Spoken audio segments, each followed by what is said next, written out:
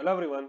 In this question, we have to find the normal force on bridge at point B. What is given here? The length of bridge is given. The mass of bridge is given here. The mass